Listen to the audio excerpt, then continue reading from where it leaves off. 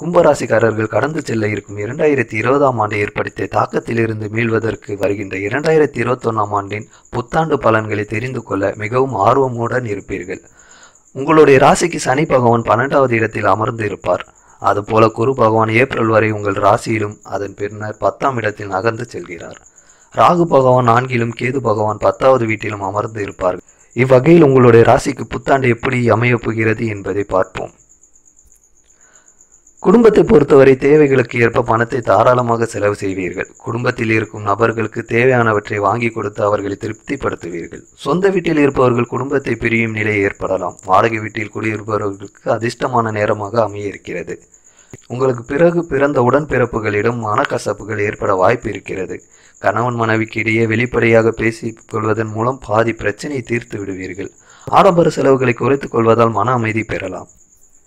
தொழில் மற்றும் வியாபாரத்தில் கும்பராசிக்காரர்களுக்கு ஏற்றத்தாழ்வுகளுடன் பலன்கள் கிடைக்கப் பெறுவீர்கள். புது புது விஷயங்கள் கற்றுக்கொள்வதில் ஆர்வம் செலுத்தினால் நல்ல முன்னேற்றத்தை காணலாம். உங்களுடன் ஒப்பந்தம் செய்து கொண்டவர்கள் மற்றும் பங்குதாரர்கள் போன்றவர்கள் உங்களுக்கு முழு ஒத்துழைப்பை அளிப்பார்கள். சுய தொழிலில் ஜூலை ஆகஸ்ட் செப்டம்பர் மாதங்களில் நல்ல லாபம் காண்பீர்கள். வியாபாரம் தொடர்பான பயணங்கள் அனுகூலமான பலன்களை பெறுவீர்கள். உத்தியோகத்தில் இருக்கும் கும்பராசிக்காரர்களுக்கு இடமாற்றம் குறித்த விஷயங்களில் ஏப்ரல் மே மாதங்களில் சாதகமான பலன்களை கொடுக்கும். புதிதாக வேலை தேடுபவர்களுக்கு இந்த மாதத்தில் மனதிற்கு பிடித்த வேலையை அமைவதற்கான வாய்ப்புகள் உண்டாக்கும். உங்களுடைய திறமையை இதுவரை கிடைக்காத அங்கீகாரம் இனி நிச்சயமாக கிடைக்கப் போகிறது.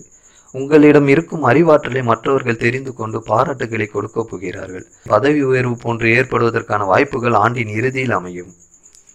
பொருளாதாரத்தை பொறுத்தவரை திடீர் செலவுகள் அதிகரிக்கும் வாய்ப்புகள் உண்டாக்கும் நீங்கள் செலவுகளை கட்டுக்குள் கொண்டு வர நினைத்தாலும் உங்கள் கைக்கு மீறிய செலவுகளை ஏற்படுத்துவதற்கான சாத்தியக்கூறுகள் உண்டு.